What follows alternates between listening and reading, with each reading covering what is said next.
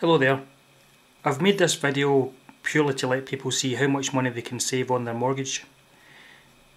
Me personally, I pay £209 per month on a mortgage at the moment which stands at £41,000 UK sterling. I'm paying that mortgage over 21 years at present. Um, if I was to continue paying just the basic £209 per month, um, it would take me 21 years to pay off my mortgage.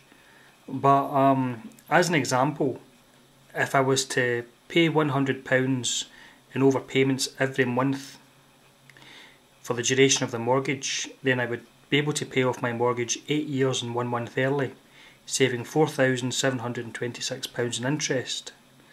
And another example would be if I was to pay off £400 in overpayments every month until my mortgage was paid off.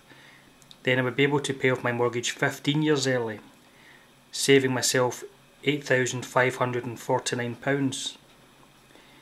If you look into it and you're able to afford to be able to overpay on your mortgage, I would definitely recommend doing so um, for yourself because you could basically pay off your mortgage earlier than you expected plus save yourself a lot of money in the process.